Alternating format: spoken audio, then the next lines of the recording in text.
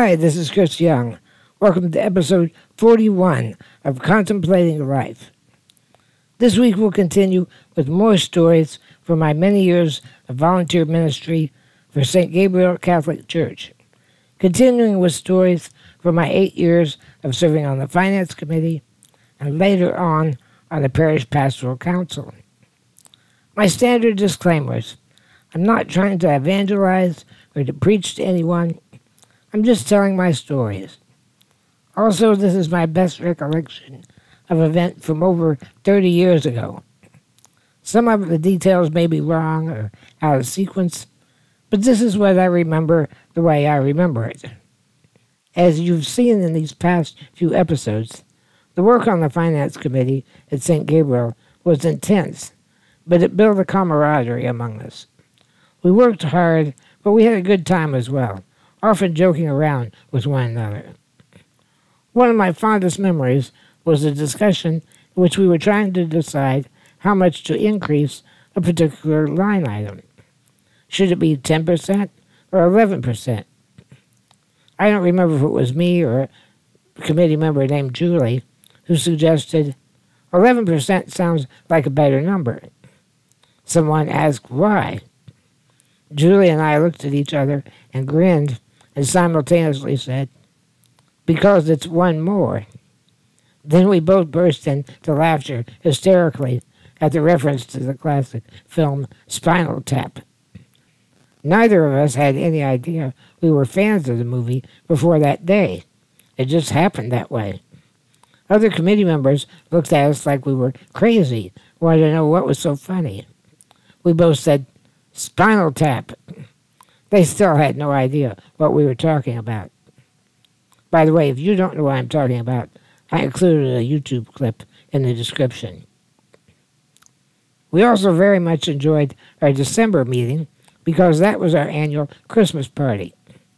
We would dispense with our business as quickly as possible and then bring out the snacks, turn on the Christmas music, open a bottle of wine, and have a really good time. Larry, the chairman of the committee, always brought a really great cheese ball made by his wife. Somehow that started a tradition that the chairman brought the cheese ball. When I was the chairman, they liked my mom's recipe almost as well as the one made by Larry's wife.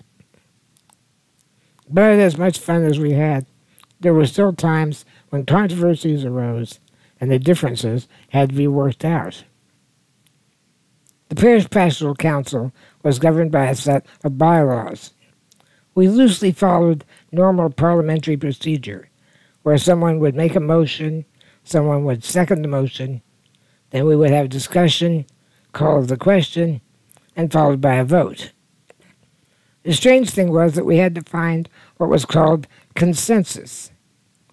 The theological theory was that God has a plan for us, and it's our job to prayerfully discern that plan and implement it, so there could be no division among us. Therefore, consensus essentially meant a unanimous vote on everything. If we really are guided by the Holy Spirit, there can be no division among us. And the Holy Spirit guides each of us differently. So maybe that one dissenting voice is the right answer. In practice, what we said was you don't have to totally agree with it 100%, but you have to be able to live with it. Our council members were strongly encouraged to sort of go with the flow and side with the majority. I'm not saying you had to rubber stamp everything was proposed. You could raise objections, and often people did.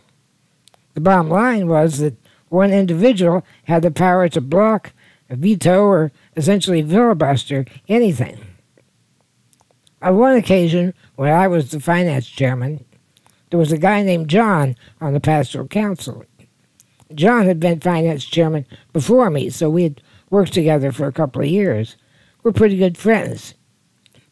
He objected to the budget, which sort of pissed me off because he knew the kind of work that had gone into it, having been in my position before.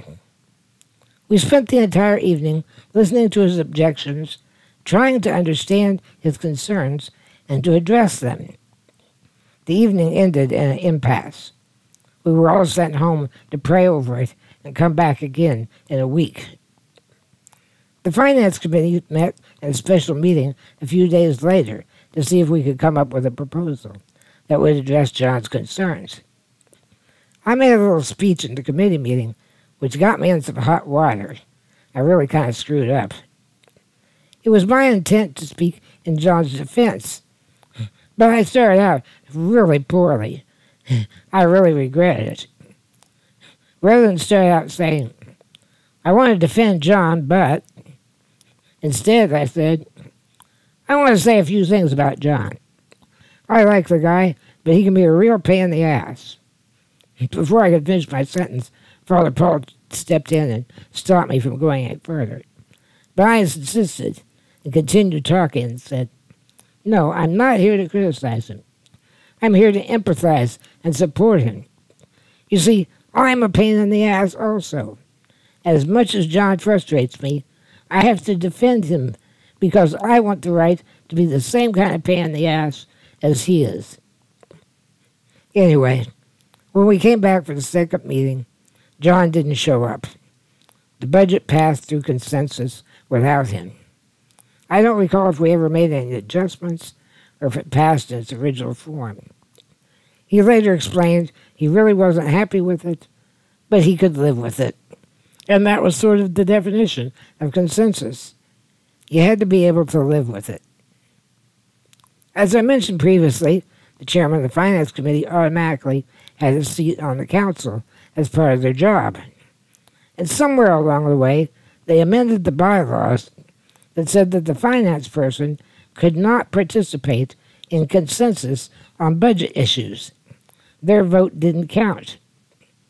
The finance chairman was allowed to otherwise participate in consensus on non budgetary matters, just like any other council member. But they thought that the finance person would be biased in favor of the budget that they had worked so hard to present. I was always proud of the work we did, but I realized that we served at the pleasure of the council. I was offended by the idea, this was even before I was the chairman. Did this mean that the school board representative should also not participate because the school budget was on the line?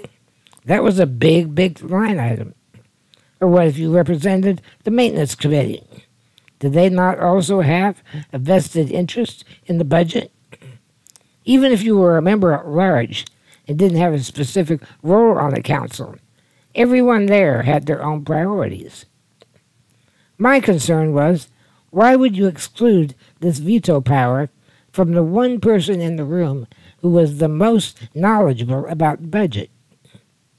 If the council voted to change the budget in a way that was detrimental to the financial status of the parish, it was the chairman of the finance committee that was the one person in the room who would be most likely to know that and to raise concerns about it. The idea that their opinion should not count in the final consensus seemed idiotic to me. So after I was no longer on the Finance Committee, but was serving on the Council for other reasons, I tried to get him to reverse that policy, but I was unsuccessful. I want to wrap up this series with some comments about my dear friend, Father Paul Van who was our pastor throughout this time. I've mentioned him several times in this series, and in my previous faith series, in which I talked about my return to the church after nearly a nine year absence. Father Paul and I had a great working relationship. I always felt that he respected me, and I deeply respect him to this day. But we both got on each other's nerves on several occasions, as you've already seen. There was one time there was a controversy about someone on the school staff doing some bad paperwork on finances. There wasn't anything nefarious going on. Nobody was dipping into the till. It was just that the record keeping sucked. Everything didn't always balance. There were just some procedural problems. Father met with the person in question to try to work things out. But he took John, who was the finance chairperson at the time, with him to the meeting. Well, word got out about this meeting, and several of the school people came to various finance committee members and said, Why is the finance committee involved in this private personnel matter? Most of us on the committee had no idea what was going on, didn't even know about the meeting. At the next finance meeting, several of us complained why we were out of the loop on the issue. Father said it was just a staff issue, didn't have anything to do with our committee. He seemed upset we were making a big deal about it. In his mind, it was none of our business. John defended himself, saying, Hey, Father asked me to be there, so I went. Well, I wasn't upset with him. He was just doing what the boss asked. So I asked Father, Why did you take John, our chairman, to the meeting with you? He's the public face of the committee. When you take him to a meeting, you're taking the committee. Sure, he knows our procedures and probably was a useful resource in straightening things out. But you got a choice. Either this was a private, internal matter that should not have involved anyone from the committee, especially the chairman, who everyone sees as the representative of the committee, or it really was the work of the committee, and we needed to be aware of what was going on. We shouldn't have had to hear about it secondhand and get a third degree interrogation from people who wanted to know why the hell we were meddling in that business. Now, As I was speaking, Father had a nasty scowl on his face because I was continuing to complain about something he didn't want to discuss any further. But by the time I finished, his expression has changed. He sort of raised his eyebrows and cracked a grin and said, uh, well, actually, you're right. I get it. John is the face of the committee and does represent us. Now I understand what was the problem. I probably should not have gotten him involved. Well, that satisfied me, I said. The rest of the committee seemed satisfied as well. There was another member on the committee, a woman named Betty, who used to pick me up at my house in my van, drive me to the meeting, and take me home afterwards. After the meeting that night, when she brought me home, she gave me a kiss on the cheek and said, Chris, I've never felt closer to you than I did tonight. She was glad I raised her to stink.